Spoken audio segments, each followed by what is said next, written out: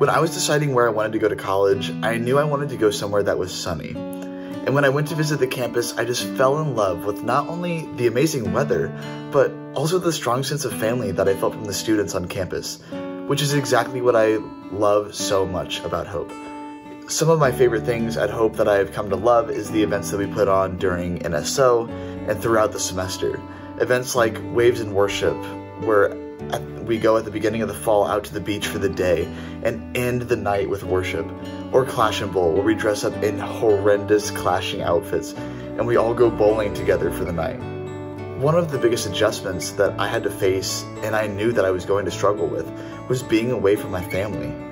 I'm a huge family person, so being 1,300 miles away from them was really hard. But what I found is that I've made a new family at Hope.